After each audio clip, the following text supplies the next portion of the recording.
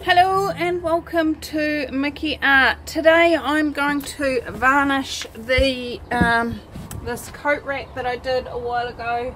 Um, my husband's starting to question, when are you ever going to finish my coat rack? Um, I am so good at painting and the uh, speed at which I finish things is not particularly uh, a high end priority. Now, first of all, what am I going to use? Normally on my most, most of my paintings I just use a spray varnish, um, picture varnish, but because this one's actually going to have coats and bags and things actually hanging on it, banging around on it, it needs something extra. So I'm using this old polyurethane clear that I found in our shed. I'm tipping it everywhere.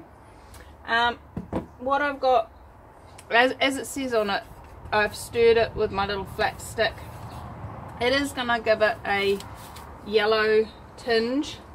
Um, and only a small amount. Now, one of the things that somebody posted on the acrylic pouring for fun Facebook group the other day was they'd used Minwax to seal their paintings and um, it looked fantastic and then um, a month later the Minwax had gone yellow and um, was looking really crappy.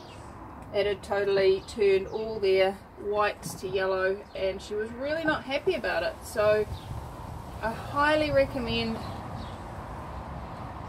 um, choosing your sealers wisely. Um, I'm only using this on here because it is going to be it needs to have such a durable finish on it um, so please please please if you're doing artwork that is to be used as artwork and not as a um, a household piece like this please choose your sealers wisely um, experiment, play with it. Do a piece and leave it for a month or so and get a real sense of what it does over time before you go ahead and as this sweet lady did, um, paint 15 paintings with it. Um, so as you can see I'm using a cut up kitchen sponge and um, that is purely because I'm very averse to cleaning brushes. I'm an artist and I'm averse to cleaning brushes. How funny is that? Um, especially when they are oil based. Uh, and this definitely is oil based, hence I'm doing this outside. Uh, how can you tell if it's oil based? Well, technically it should say on on it, but have a look at the dry time. Water based tend to only have a dry time um, of three or four hours max, whereas oil based will have a 17, yeah, four plus hours at least. Um, So I'm using this little sponge and after this one coat I am going to throw it away and I've got another sponge for the next, uh, got other pieces of the same kitchen sponge to do the next layers. Um, I will be doing three layers and this is a um, 16 hour dry time between coats and 72 uh, yeah so that definitely indicates it's an oil-based 16 hour dry time between coats is there's no way that's an a, a water base. So I'm just giving it a good soaking really um, but I am wiping off the excess with with varnish. If you leave a thick layer anywhere, um, you tend to get air bubbles in it. Well, that's what I've found anyway. Um, so I'm just making sure all of it is covered. As I said, I'm going to be doing three coats, so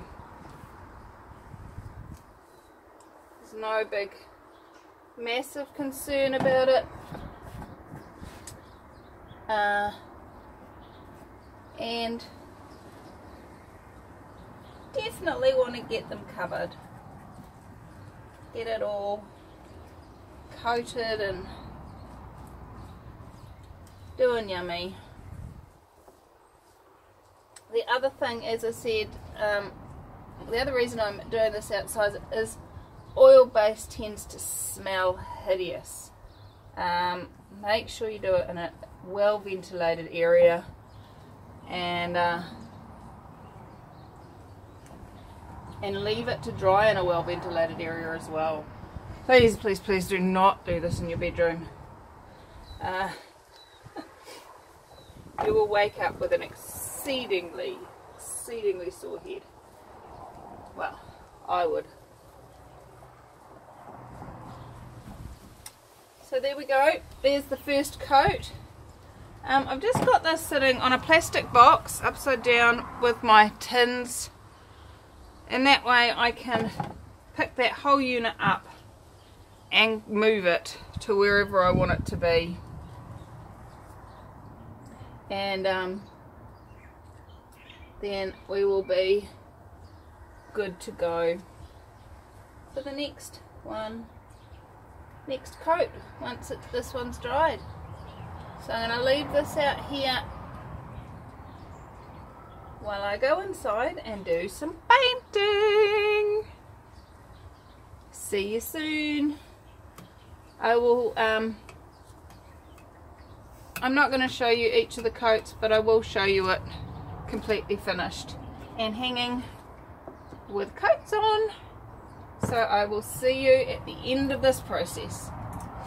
Okay, so I have done three coats of that and although it said it was clear, it's so old that it has actually, I'll show you, left a bit of a um, yucky, yellowy, stainy bit looking does look stained rather than thing and it doesn't have a nice shine on it. So out comes my paint spray and we're going to give it a spray. Uh, just get it give it a couple of coats of this and let's see if it will come up nice and shiny again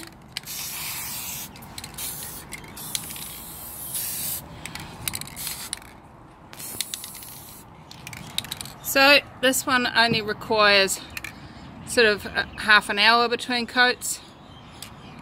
Um, so it should be done today and I'll be able to hang it.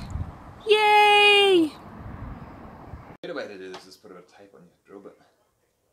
So can you pass me the plug again so I can check how deep I've gone? With black tape, it's even better.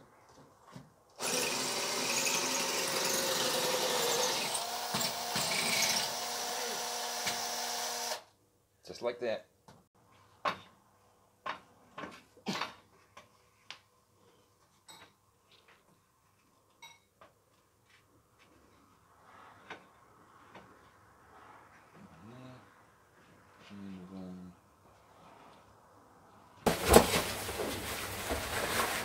Yay! We have coats on our coat hook! Yay!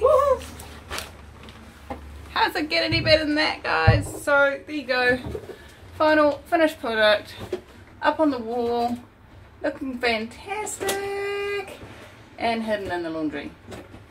What's right about that? We're not kidding. Anyway, I'm probably going to pour a couple more of these. Um, I reckon the boys need them behind their doors for their um, for their um, dressing gowns and jerseys and jackets and things. So uh, you'll probably see some more of these on the channel in the coming weeks. See you soon. Bye bye.